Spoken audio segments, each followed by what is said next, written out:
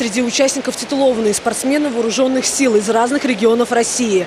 Военные покажут мастерский заплыв вольным стилем. Для участия в «Спартакиаде» съехались 200 сильнейших военных многоборцев. Среди них представители ракетных, космических и воздушно-десантных войск России. За плечами у парней большой опыт участия в чемпионатах мира, Европы и «Спартакиадах» дружественных армий СНГ. С 24 по 30 сентября в Самаре прошла спартакиада вооруженных сил Российской Федерации по многоборью. Помимо плавания, военные соревновались в стрельбе из пистолета Макарова и автомата Калашникова, в метании ручной гранаты, кроссе и преодолении препятствий. Заплывы проходят на 100, 200 и 300 метров.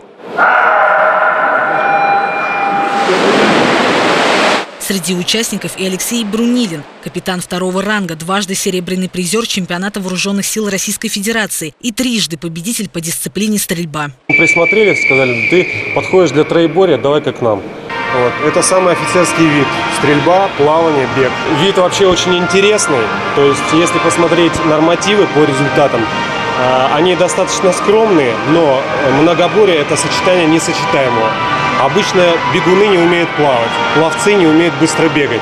И из них мало кто умеет стрелять. Вот троеборец – это тот, кто ну, универсал, который э, сочетает в себе эти качества. Организаторы говорят, подготовка всех спортсменов на уровне кандидатов в мастера спорта. Победители спартакиады будут защищать честь вооруженных сил России в составе сборных команд на самых престижных армейских соревнованиях, в том числе на всемирных военных играх в Китае и на чемпионате дружественных армий стран СНГ. В Самаре у нас армейские все объекты э, замечательно подготовлены к проведению любых соревнований, включая международный уровень, чемпионаты мира и чемпионаты Европы.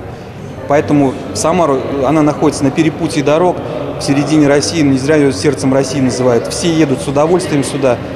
Э, судейство всегда непредвзятое, судейство всегда объективное. Медали были вручены победителям летнего офицерского троеборья за стрельбу, плавание и бег. На первом месте оказалась команда военно-космических сил Российской Федерации. Валерия Куценко, Максим Гусев. События.